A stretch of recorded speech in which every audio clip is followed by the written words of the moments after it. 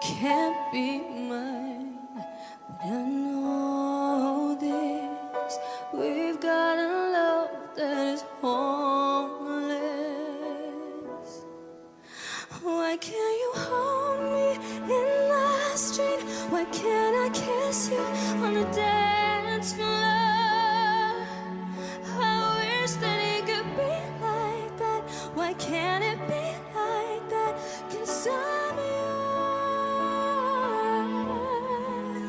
Why can't I say that I'm in love? I wanna shout it from the rooftops. Oh, yeah. I wish that it could be like that. Why can't it be like that? I'm yours. Men hvordan er forholdet mellom han og Marte, da? Godt spørsmål. Nei, jeg vet ikke. Jeg tror Andreas er litt betatt av Marte. Og Marte er kanskje litt betatt av noe. Jeg vet ikke. Den får ordne og styre seg. Jeg gidder ikke å bli med. Nei, men Martha er jo fredag kveld, da. Mm, ja, det er hun. Jeg har vært, vært stressa hele dagen i dag. Det er jeg. Men jeg håper ikke hun velger han. Obvious you're meant for me. Every piece of you is yours fits perfectly. Every second, every thought, I'm in so deep. But I'll never show it on Jeg har drømmepartneren, da. Så det var litt spesielt. Så det var litt spesielt for deg. Mm. Så det var litt spesielt for deg. Du er litt spesiell for meg. Det setter jeg veldig stor pris på. Håper jeg du vet. Og jeg syns at Andreas er en skikkelig snill fyr. Og det er sånne fyrer, fyrer jeg faller for, og det er kjempedumt her inne på Paradise Hotel. Det skal ikke skje. Så jeg, jeg må holde litt tilbake. Å, fuck, nå ser jeg De er infrarøde røde kameraer her. De ser jo alt de har drevet med. Jeg vet det. Jeg vet det. I dag har jeg fått høre at eh, alle mine tidligere partnere har gått rundt og sagt at det er rart å være partner med Tix, fordi Tix setter opp en sånn mur som ingen andre gutter gjør. Men den meksikanske muren, den ble midlertidig revet i natt med Marte.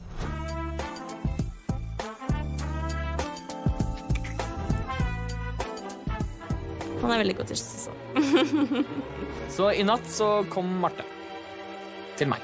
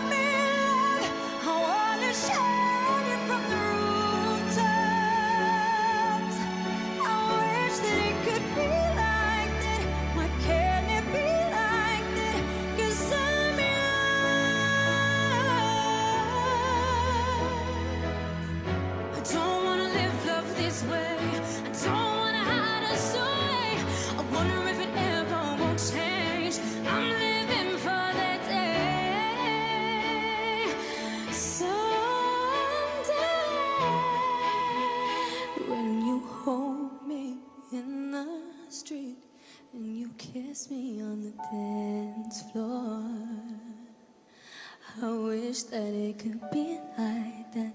Why can't it be like that? Cause I'm yours, I'm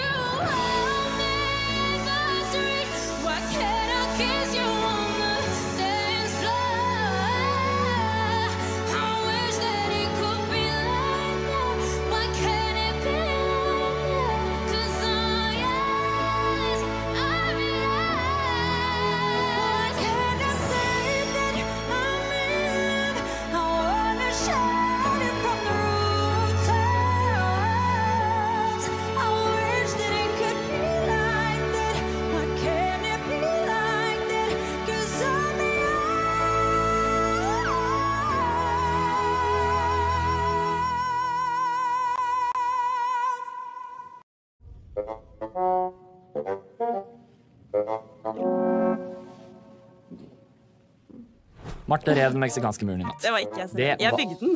og du rev den. Du gjorde begge deler. Nei. Jeg lå der og skulle sove. Ante fred og ingen fare. Og så Nå må du gi det. plutselig hører jeg et brak, og der går en pute i veggen. Nei, det er tull. Jeg hadde null sjanse til å si nei. Du, altså.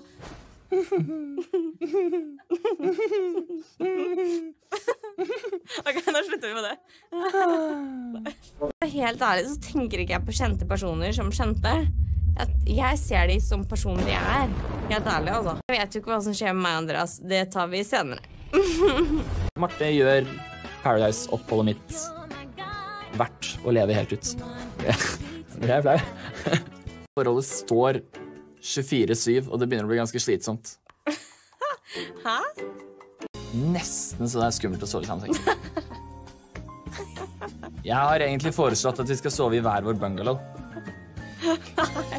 Nå må du slutte. Han tuller.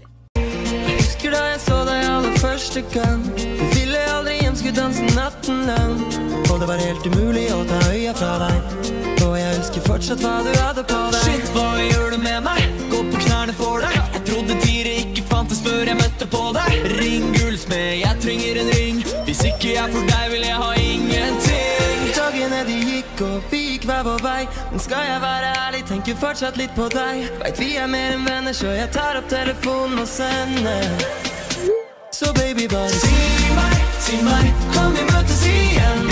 Vil være mer enn en one night stand. Det gjelder ingenting.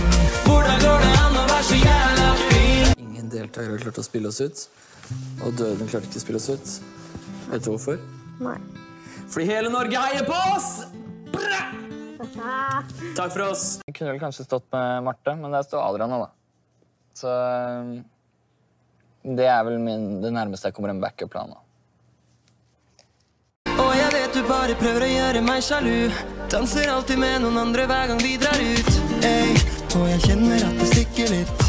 Hvorfor klarer jeg ikke ikke møte blikket ditt? Vi møtes, vi krangler, vi elsker, vi angrer. Det er breakup og makeup, det er gode og onde dager. Og begge vet at begge to har vært med andre. Jeg tenker kanskje du og jeg er best med hverandre. Dagene de gikk og vi gikk hver vår vei. Men skal jeg være ærlig, tenker fortsatt litt på deg. Vet vi er mer enn venner, så jeg tar opp telefonen og sender. Tix, det her er jo en uke i kjærligheten sånn. Hvordan er kjærligheten mellom Marte og deg? Det blomstrer jo litt, da. Ja, er det følelser? Det er nok sikkert litt følelser. Men jeg har følelser for alle her inne på hotellet. Men det er kanskje litt, eh, men det er kanskje litt ekstra følelser hos Marte. Men eh, den meksikanske muren din, hva er greia der? Eh, Den meksikanske muren er en usynlig mur som alltid har vært i sengen i alle partnerskapene jeg har hatt på Paradise Hotel. Den muren skal ikke rives. Mm, Men i det siste har muren blitt litt svekket, og Marte har tydelig blitt mer og mer utålmodig. Og, og, da, og så syns jeg virkelig at hun fortjener å komme på andre siden av muren også. Da. Marte, blir det mye klining på deg om kvelden? Det blir litt kosig. Ja. Er du redd for at nye jenta skal komme og ta tics fra deg? Jeg tror at jeg og Nyjenta kommer til å bli gode venner, så da tror jeg ikke hun kommer til å ta Andreas fra meg. nei.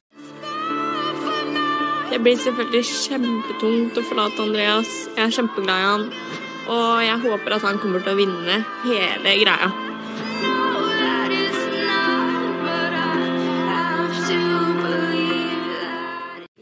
Det at Marte må sjekke ut nå, det gjør at det her føles plutselig ikke bare som et spill lenger. Fuck, jeg, jeg sliter med å finne ordene. Hun åpnet himmelen for meg. Jeg står som en flamme ut i regn. Jeg er evig din, gi meg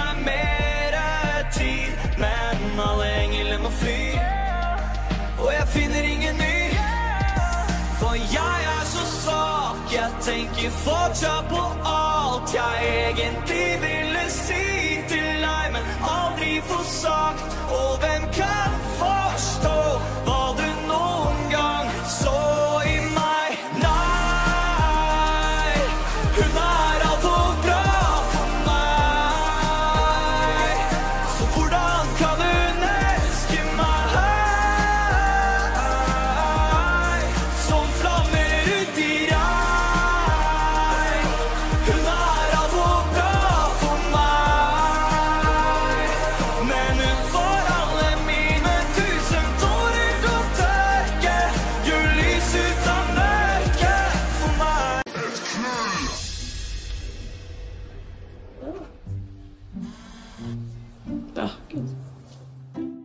er sinnssykt deilig å være tilbake med alle folka igjen.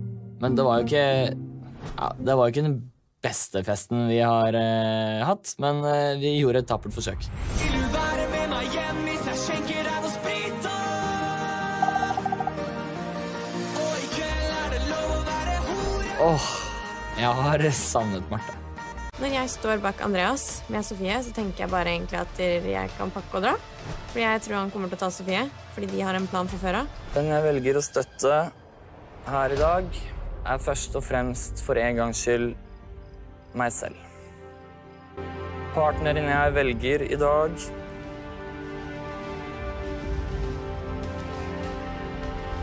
er